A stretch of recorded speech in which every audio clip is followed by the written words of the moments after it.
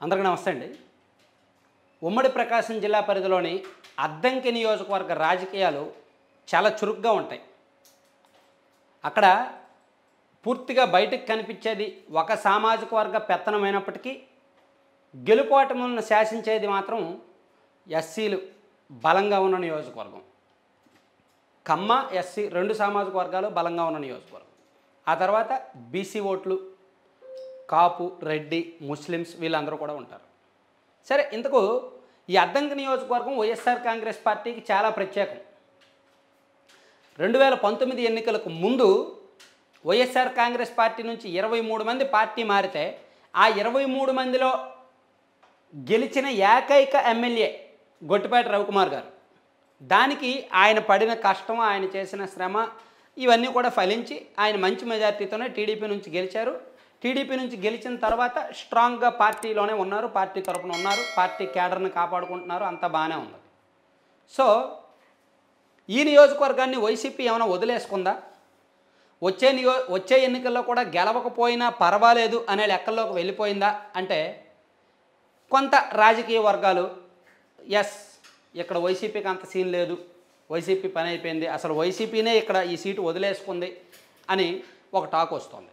ఎందుకంటే ఇంత మాట అనడానికి కారణం ఏంటంటే ఇక్కడ వైసీపీ ఇన్ఛార్జిగా బాచిన కృష్ణ చైతన్య గారు ఉన్నారు. బాచిన కృష్ణ చైతన్య అంటే బాచిన సారీ చెంచుగరటయ్య గారి కుమారుడు. చెంచుగరటయ్య గారు సీనియర్ మోస్ట్ పొలిటీషియను నాలుగు సార్లు ఎమ్మెల్యే రాష్ట్ర వ్యాప్తంగా కూడా ఇటు కరణం బలరాం గారికి ఎంత పేరు ప్రతిష్టలు ఉన్నాయో చెంచు గరటయ్య గారికి కూడా అంతే స్థాయిలో బ్రాండ్ ఇమేజ్ ఉంది ఆ జిల్లాలో. అంటే మూడు ఫ్యామిలీలు ఇక్కడ స్ట్రాంగే. గొట్టిపాటి కరణము బాచిన. మూడు ఫ్యామిలీస్ స్ట్రాంగే. అయితే గరటయ్య గారి కుమారుడు కృష్ణ చైతన్య అంత దూకుడు స్వభావం కలిగిన నాయకుడు కాదు అంత నమ్మదగిన నాయకుడు కాదు. బయటకు కనిపించేంత పొలిటికల్ మైలేజ్ కూడా లేదు అనేది ఇప్పుడిప్పుడే కొంత ఆ ఆ వర్గీయుల నుంచి ఆ పార్టీ వాళ్ళ నుంచే బయటకు వస్తుంది. సో ఈయనకి ఇన్ఛార్జ్ ఇచ్చి దాదాపుగా మూడున్నర సంవత్సరాలు అవుతుంది. ఈ మూడున్నర సంవత్సరాల్లో కూడా ఆయన మొదటి వన్ అండ్ హాఫ్ ఇయర్ చాలా కష్టపడ్డారు. తిరిగారు. ఊరూరు తిరిగారు. కార్యకర్తలను కలుసుకున్నారు. పార్టీలో టీడీపీ వాళ్ళని చల్లా చెదురు చేసి వైసీపీలో చేర్చుకోవడంలో సక్సెస్ అయ్యారు. సో పార్టీని ఎంతో కొంత ఆ నియోజకవర్గంలో టీడీపీకి ఉన్న బలాన్ని తగ్గించి వైసీపీ బలాన్ని పెంచడంలో కృత్రిమంగా సక్సెస్ అయ్యారు. అంటే కృత్రిమ బలాన్ని పోగేసుకున్నారు. అయితే అదంతా కూడా కృత్రిమ బలమే. యాక్టింగ్ పాలిటిక్స్ అంటారు దాన్ని. యాక్టింగ్ పాలిటిక్స్ ద్వారా మాత్రమే కృత్రిమ బలం వస్తుంది. సహజ సిద్ధంగా వచ్చింది కాదు. ఇప్పుడు వైసీపీలో అక్కడ విపరీతమైన గ్రూప్స్ ఉన్నాయి. అంత ఆషామాషిగా కొట్టి పాడేయాల్సిన వ్యవహారం అయితే కాదు. అతనికి సీటు ఇవ్వకూడదు అని ఆ జిల్లాలో ఉన్న ఇద్దరు నాయకులు ప్రయత్నిస్తున్నారు. ఆ జిల్లా ఉమ్మడి ప్రకాశం జిల్లాలో ఉన్న ఇద్దరు నాయకులు కూడా బాచిన కృష్ణ చైతన్య గారికి సీటు ఇవ్వకూడదు అని పై స్థాయి నుంచి చెప్పుకుంటూ ప్రయత్నాలు చేసుకుంటూ వస్తున్నారు. పోనీ నియోజకవర్గంలో పూర్తిగా కేడర్లో ఐక్యత ఉందా అంటే అదీ లేదు. ఆయనకు వ్యతిరేకంగా గతంలో కేవలం కొద్ది మంది నాయకులు మాత్రమే ఉండేవాళ్ళు. కృష్ణ చైతన్య గారికి వ్యతిరేకంగా చాలా కొద్దిమంది నాయకులు ఉండేవాళ్ళు. కానీ కాలక్రమేణా అతని మీద వ్యతిరేకత అసమ్మతి నాయకుల సంఖ్య పెరుగుతోంది. రెడ్డిస్ అలాగే బీసీ నాయకులు ఈవెన్ కమ్మ సామాజిక వర్గంలో కొంతమంది ఆర్యవైశ్య సామాజిక వర్గానికి చెందిన వారు కొంతమంది ఇలా రకరకాల భిన్నమైన వర్గాల్లో బాచిన కృష్ణ చైతన్య గారి వ్యతిరేక వర్గంలో చేరి అసమ్మతి నాయకులుగా ఉన్నారు. వాళ్ళందరూ కూడా పై స్థాయిలో ఆ లీడర్ని కొలుస్తున్నారు ఈ లీడర్ని కొలుస్తున్నారు పై స్థాయిలో కొలుస్తున్నారు వాళ్ళ ప్రయత్నాలు వాళ్ళు చేస్తున్నారు. కృష్ణ చైతన్య గారికి సీటు ఇవ్వకూడదు అని.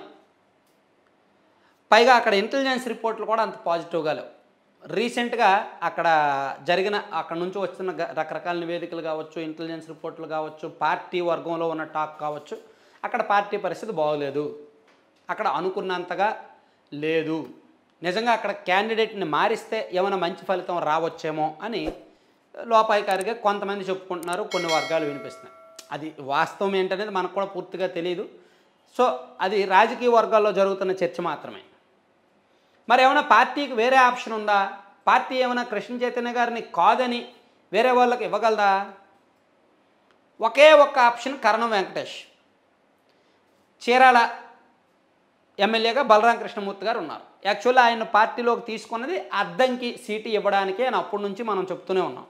సో కానీ వాళ్ళు మాత్రం చీరాలే మాకు కావాలి అని అక్కడే ఫిక్స్ అయి ఉన్నారు. సో వాళ్ళని వెంకటేష్ని తీసుకొచ్చి అద్దంకి ఇచ్చి చీరాల నియోజకవర్గాన్ని ఎవరికైనా బీసీలకు ఇవ్వాలి అనేది పార్టీలో ఉన్న మొదటి నుంచి ఉన్న ప్రపోజల్ సో చీరాల నియోజకవర్గంలో వెంకటేష్ గారికి బలం బలగం అలాగే ఉంది. వాళ్ళేమీ చెల్లా చెదురైపోలా కొన్ని నియోజకవర్గాలు సారీ దాదాపుగా అద్దంకి నియోజకవర్గం మొత్తం మీద ఉన్న పదిహేను నుంచి ఇరవై గ్రామాల్లో స్ట్రాంగ్ పిల్లర్స్ కరణం బ్యాచ్ ఉంది.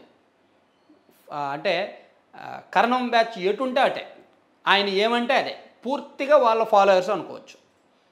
సో వీళ్ళు నియోజకవర్గంలోకి ఎంటర్ అయిన తర్వాత ఒక్క టూ త్రీ మంత్స్ కనుక యాక్టివ్గా తిరిగితే మళ్ళీ వీళ్ళ పాత బ్యాచ్ మొత్తం వీళ్ళ దగ్గరకు వచ్చేస్తుంది. అప్పుడు గొట్టిపాటి వర్సెస్ కరణం అనే పోరు నియోజకవర్గం మొత్తం స్ప్రెడ్ అయిపోద్ది. అప్పుడు వీళ్ళ బ్యాచ్ ఎంత అనేది వీళ్ళ క్లారిటీ ఉంటుంది వాళ్ళ బ్యాచ్ ఎంత అనేది వాళ్ళ క్లారిటీ ఉంటుంది. దాదాపుగా రెండు లక్షల ముప్పై వేల ఓట్లు ఆ నియోజకవర్గంలో ఉంటే ఒక తొంభై వేల ఓట్లు వీళ్ళకి పడతాయి ఒక తొంభై వేల ఓట్లు వాళ్ళకి పడతాయి. ఒక ఇరవై వేల ఓట్లలో మాత్రమే అక్కడ రాజకీయం జరుగుద్ది. ఆ ఇరవై వేల ఓట్లలో ఎవరికి ఎక్కువ వస్తే వాళ్ళే అక్కడ గెలుస్తారు. అదే అద్దంకి నియోజకవర్గ పాలిటిక్స్ క్లియర్ ముఖ చిత్రం అది. ఎవరి బలం వాళ్ళకు ఉంటుంది. ఎన్నికల సమయంలో పార్టీ గాలి పోల్ మేనేజ్మెంటు వాళ్ళు తిరిగే ప్రచారము ప్రలోభము ఈ వ్యవహారాలన్నీ ఉంటాయి కదా అవి మాత్రమే ఫలితాన్ని శాసిస్తాయి. అందులో గొట్టిపాటి రావు గారు గత మూడు ఎన్నికల నుంచి కూడా ఆరితేరారు. అన్ని రంగాల్లో కూడా ఆయన ఆరితేరారు. అందుకే ఆయన గెలుస్తూ వస్తున్నారు. అయితే ఒకవేళ వెంకటేష్ గారికి సీట్ ఇస్తే బాచిన వర్గం కృష్ణ చైతన్య గారు డెఫినెట్లీ గత ఎన్నికల కంటే ఇప్పుడు బలపడ్డారు కాక కాకపోతే ఆయనకు రాజకీయం చేయడం రావట్ల. తన వ్యతిరేక వర్గాలను కలుపుకోవడం రావట్ల. కొంతమంది మాటలను మాత్రమే విని కొంతమందిని మాత్రమే నమ్మి కొంతమందిని మాత్రమే పక్కన పెట్టుకొని తిరిగి ఆయన తక్కువ చిన్న వయసులోనే కొంత బ్యాడ్ నేమ్ మూటగట్టుకున్నారు. రాజకీయ భవిష్యత్తు మీద ఒక క్లారిటీ లేకుండా ఉండిపోయారు. పార్టీ నమ్మకాన్ని గెలుచుకోవట్లేదు కేడర్ నమ్మకాన్ని గెలుచుకోవట్లేదు జిల్లా స్థాయి నాయకుల నమ్మకాన్ని గెలుచుకోవట్లేదు. ఇవన్నీ నేను సూచనప్రాయంగా చెప్తున్నాయే. ఇదేదో నేను విమర్శించాల్సిన అవసరం మనకు లేదు. సో ఒకవేళ కరణం వర్గానికి కరణం వెంకటేష్కి ఇక్కడ సీట్ ఇస్తే ఖచ్చితంగా బాచిన వర్గం వీళ్ళకి సపోర్ట్ చేసే అవకాశం అయితే లేదు. అప్పుడు మళ్ళీ అటువైపు అంటే గొట్టిపాటికే ఇంటర్నల్గా అయినా సపోర్ట్ చేసే అవకాశం ఉంటుంది. ఒకవేళ బాచిన వర్గానికి సీట్ ఇస్తే కరణం వర్గం బాచిన వర్గానికి సపోర్ట్ చేసే అవకాశం ఉండదు. వాళ్ళు ఉంటే న్యూట్రల్గా ఉంటారు లేదా గొట్టిపాటికే సపోర్ట్ చేస్తారు ఎంతో కొంత. ఇలా అద్దంకి నియోజకవర్గ పాలిటిక్స్ ఇంటర్నల్గా ఇలా ఉంటాయి.